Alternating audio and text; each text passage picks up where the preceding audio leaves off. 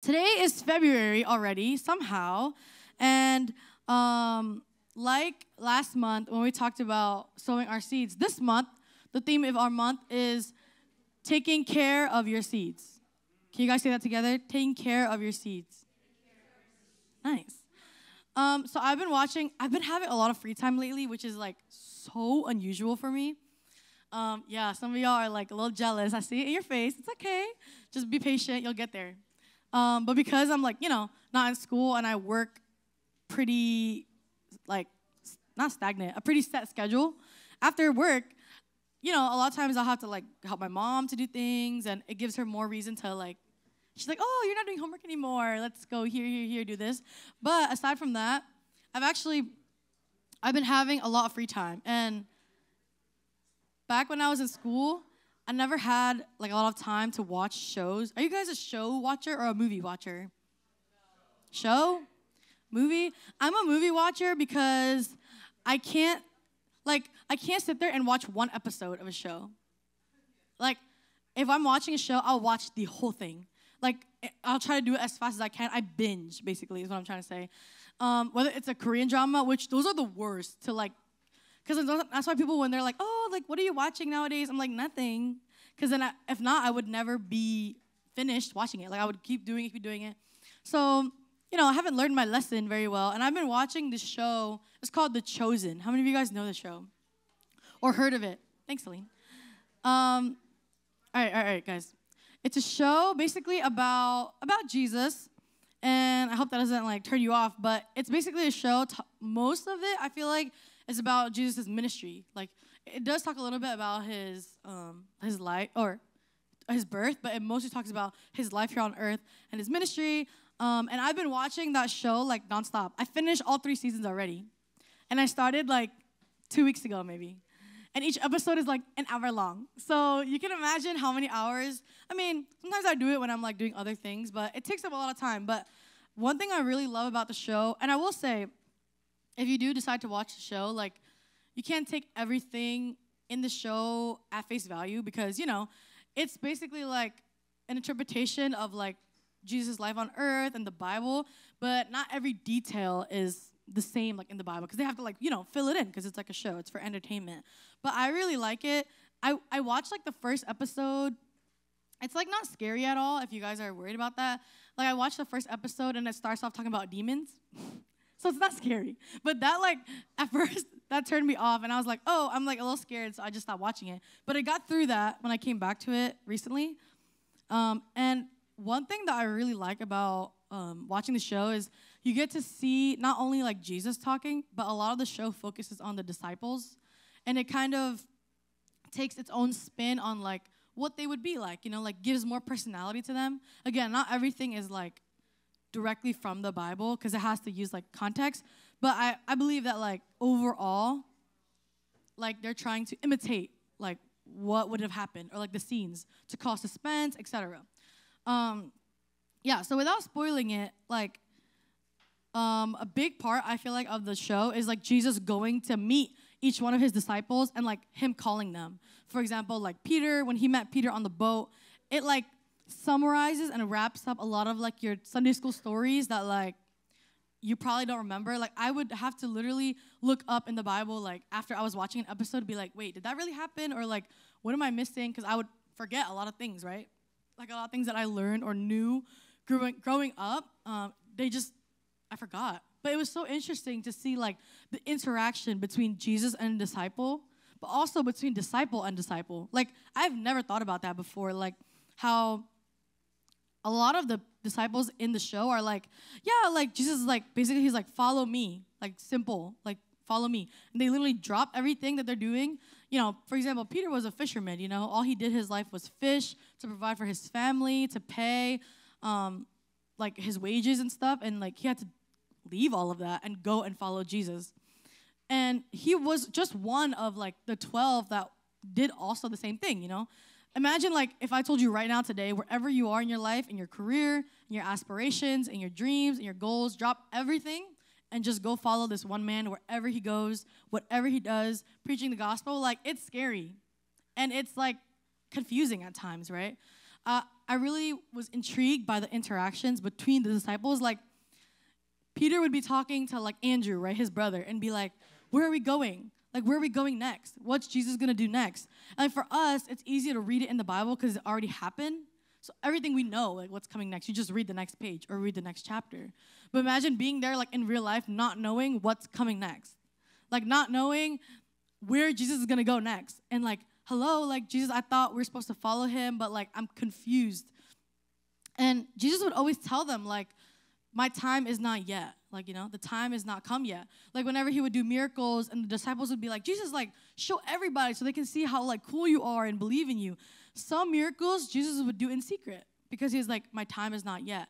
But that was hard for them to understand because they were like, what do you mean it takes time? Like, what do you mean, like, it's slow? Like, why don't we just speed this up so everyone can know about you, everyone can talk about you? And that would cause them to, like, quarrel. Quarrel? Like, argue. It would cause them to, like, you know how you have like disagreements with your friends about where to go eat after church? Or how like you never know like what's coming next. Or maybe you're a planner and your friend is not a planner. Like those disagreements are, are normal and they happen. So let's get into the word of god. And again like recapping january we talked about sowing our seeds and what that looks like right? How you need to sow your seeds individually and be faithful in sowing your seeds. And february is talking about taking care of those seeds. Can we pull up the verse Thanks, Jer. In James chapter 5, verses 7 through 8. I, I took it in the message version um, because I just like the wording. So let's read this together. One, two, three. Meanwhile, oh, hold on, let's start over. Let's read it all together. One, two, three. Meanwhile, friends, wait patiently for the master's arrival. You see, farmers do this all the time, waiting for their valuable crops to mature patiently letting the rain do its slow but sure work. Be patient like that. Stay steady and strong because the master could arrive anytime. Amen. So, similar, like, you guys need to use a lot of imagination when Jesus is talking about, like, or when James is writing and the author is writing about waiting patiently like a farmer, right? Similarly, like the disciples in the show, like, they were they needed to wait patiently for the master to do what he needed to do in between the time of like introducing himself to the people and like where we're gonna go next. Like one miracle after another. Like what tomorrow was gonna look like wasn't the same as today. For me, I would have struggled because I thrive on routine. Like I need to know what I'm doing today, what I'm doing tomorrow, write a list in my planner that I usually don't follow through with, but at least I wrote it, you know, like in my planner. But this wasn't the case. And you're probably okay, like you're probably like, okay, like what does this have to do with you know, planting seeds have to do with knowing what's coming next. My point that I want to make here, and that um, is the title of my sermon, is that taking care of your seed, it takes time. Jer? Sorry, I didn't call you out like that. It takes time. Everyone say, it takes time. Tell your neighbor, it takes time. All right. It takes time. Thank you. Things are not going to happen like A to B instantly like you want them to, to be. And that's like always me too. Let's open up to the verse. Why does, like, but why, right? Why does God call us to be patient and take uh, in sowing our seeds?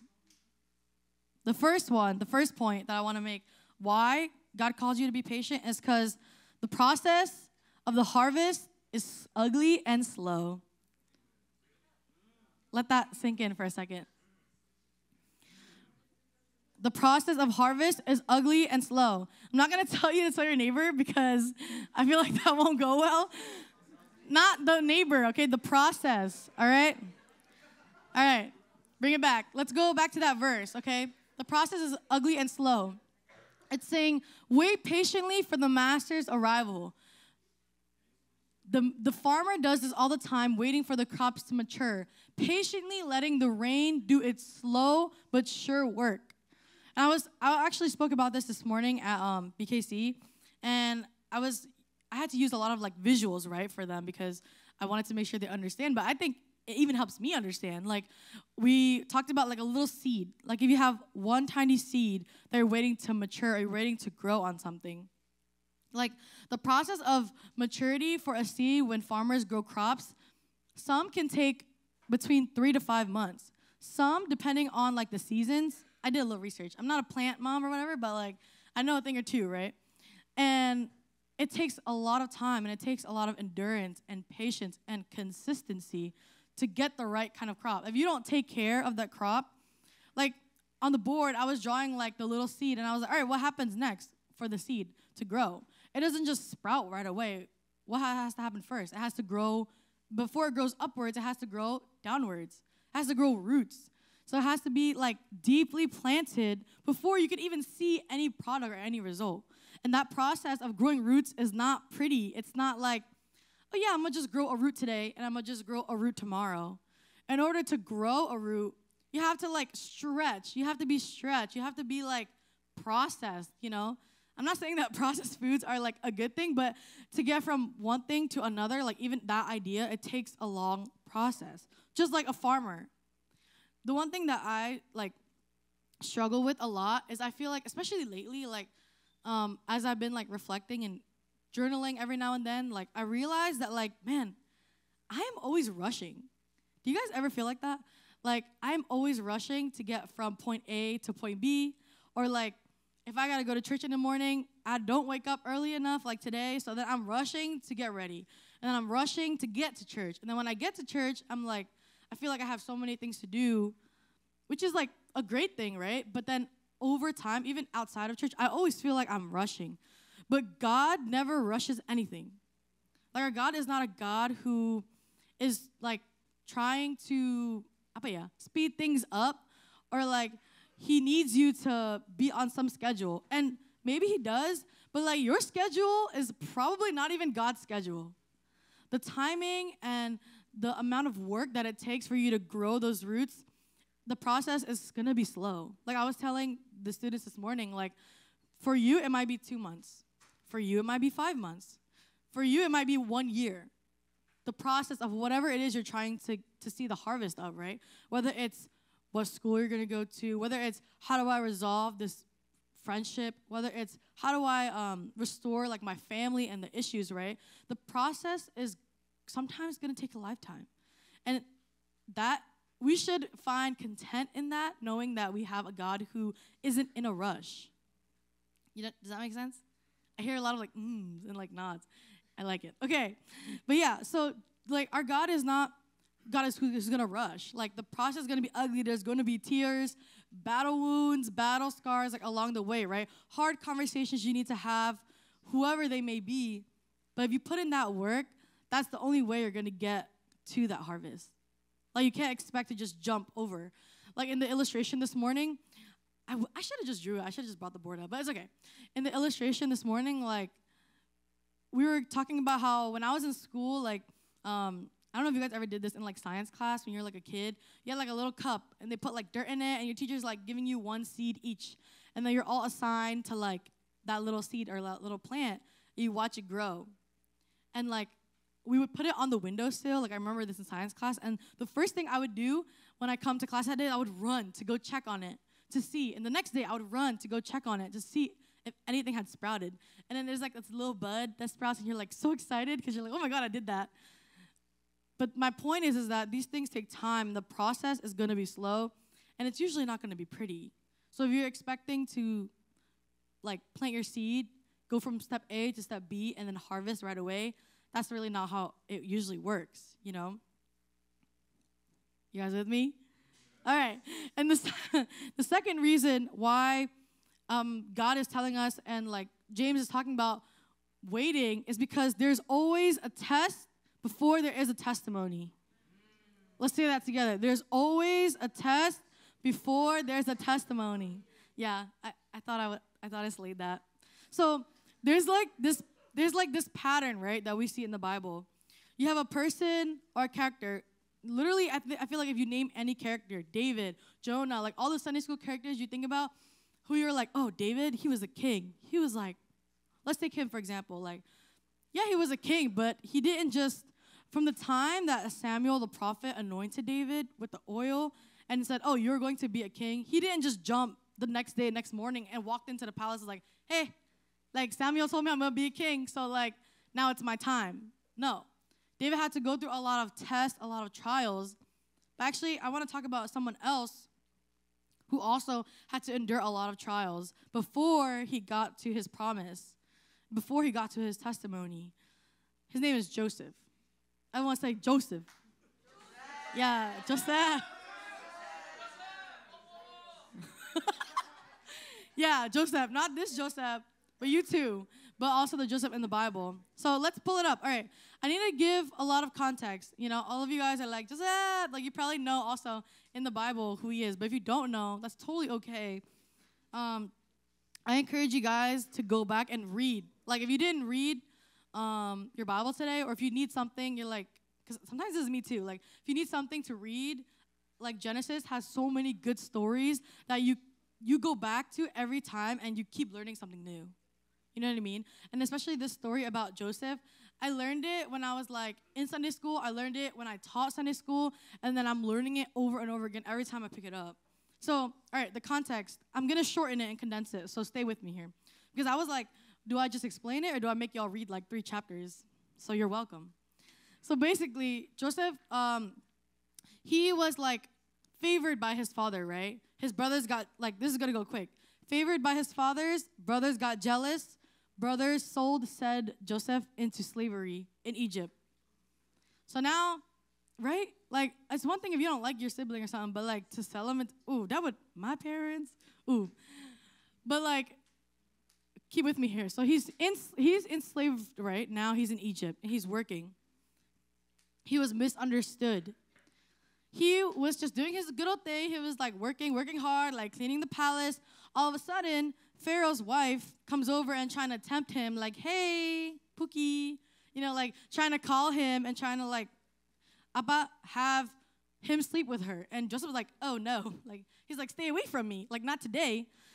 And what did she do? If you guys know the story, she told like her husband, she basically like told a lie that ended up getting Joseph in prison. Dun dun dun. Not this Joseph. So, you know, you can imagine like if this was a movie or something, like, or this was, I, okay, it is a movie, thanks. But it's like tragic, right? This he was just, you know, a little kid who maybe was a little too prideful, told all his brothers, like, oh, you're gonna bow down to me one day, and told all his brothers, like, oh, I'm the favorite, but then got sold into slavery. And then when he was sold to slavery, he got like tempted and like this woman lied about him was and he ended up in prison. You know? Those are all the tests that Joseph had to go through. But let's read this verse together. Um, yes, this is when Joseph is in prison. I'll read it for you guys, actually. I got you. All right, Genesis 39, verse 21. But the Lord was with Joseph and showed him steadfast love. Everyone say steadfast. Steadfast, steadfast love. And they gave him favor. Say favor. favor. In the sight of the keepers of the prison. What does that mean, right? Joseph wasn't just in the prison, like, he didn't just be like, all right, well, I'm here now. Like, that's all I got. And he just stayed there. No. But even when he was in the middle of the test, even when he was in the middle of like probably his lowest point, like he did not know when he was going to get out of prison. He had no idea if he was ever going to fulfill that promise or what was going to happen to him. But even in the middle of that season, when he was at his lowest, he didn't just like let it go to waste. You know, he relied on God and he looked to God, but God didn't leave him either. You know, God never left him. In fact, God showed him steadfast love, a steady love, a constant love, you know? And God shows the same kind of love to us. Like even when you guys are going through the motions in your week and you don't feel like you don't feel God's steady love, isn't that so like horrible to rely how you like whether or not God loves you on like your emotions, you know? How you're feeling this morning? Oh, you woke up today a little bit late and you're rushing, so now your whole day is going bad and you don't feel God's steady love you know? But Joseph, he had that steadfast love that God gave him, and he gave him favor as well on the side in the sight of the prison keeper. What that means is when he was in prison, he not only was he like basically just waiting, but he didn't just make that time go by like you know you know what i mean like he was the basically the keeper of the prison like um the keeper of the prison like trusted him with all the things that were going on. It's like if a teacher kind of like has mm, I'm trying to think of how to explain this. It's like if if someone gives you a role, like, oh, you take care of these people. Like if I say James, you're in charge of all of these people. And I say Fena, you're in charge of all of these people. It's kind of like that. So like the prison keeper gave Joseph the authority and power. So he was he wasn't just in prison like wallowing away, right? He was making use out of it. And God was working through him. But what happened, right? There were these two people who also ended up in the prison with him. These were the cupbearer and the baker. And this is like all very condensed. So I I really uppa I encourage you guys to go back and read this again, you know, carefully. And the baker and the cupbearer had these dreams, right? They had these dreams that they couldn't interpret. But because God was with Joseph and he gave him that favor, and he honored him and he loved him, he was able to interpret those dreams. But then, even then, what happened? The cupbearer was the one who went back to his position, right? If you guys remember the story. He ended up in jail, but then three days later, he got out of jail. He was like, Oh, I'm gonna remember you.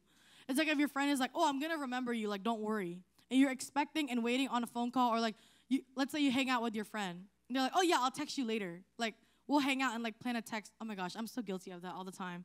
But then you don't like follow through, right? That's what happened with this cupbearer. So not only was Joseph, again, to recap, not only was he sold into slavery, he was tempted and he was wrongfully accused and thrown in prison.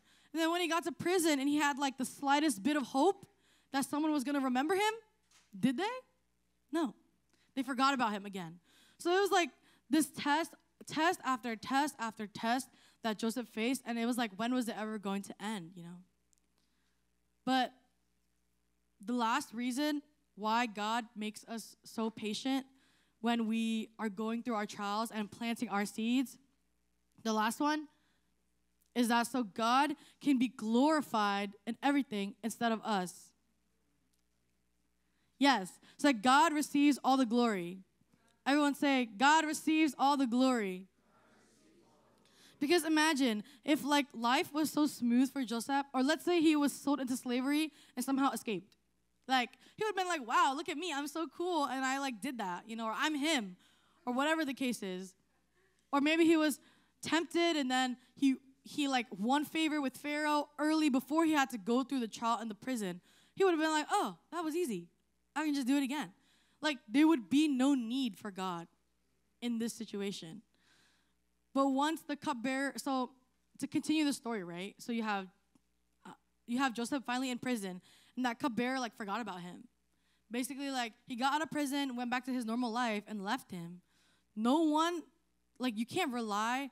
He couldn't rely on anybody besides God Himself, because even that man who was with him in the prison left him and forgot about him. But then one day, Pharaoh himself had a dream that like he couldn't interpret, and that's when it was like a light bulb, and that cupbearer remembered. He was like, "Oh, you're so right. I remember there was this guy named Joseph who could interpret those dreams. He was like, he can help you. So what did they do? They go and they send for Joseph.